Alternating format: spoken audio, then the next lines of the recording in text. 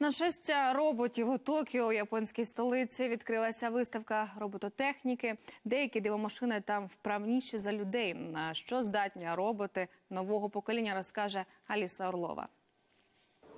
Вони складають білизну, серверують столи та володіють мовами. Металеві чоловічки щосили працюють на благо японського суспільства. У Токіо стартувала виставка роботів для сфери послуг. Число винахідників на квадратний метр зашкалює. Свої останні розробки представили понад 200 компаній.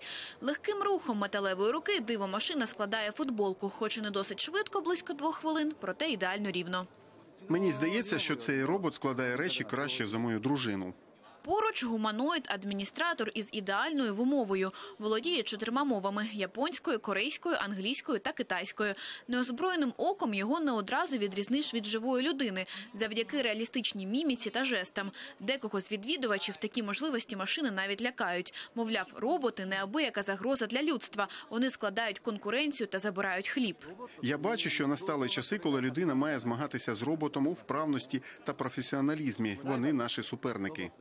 Утім, уряд заспокоює, місць вистачить усім. Японське суспільство старіше найшвидше у світі, тож в країні гостра нестача робочої сили, а роботи-помічники могли б поліпшити ситуацію на ринку праці.